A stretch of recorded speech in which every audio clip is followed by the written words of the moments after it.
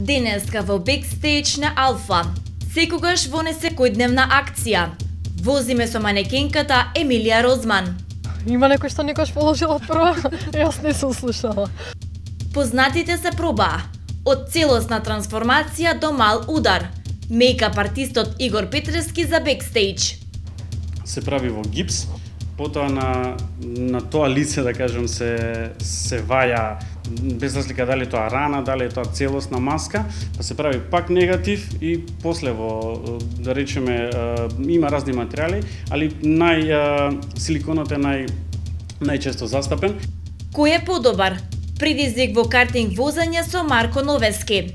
16.15. И денеска сме на Алфа.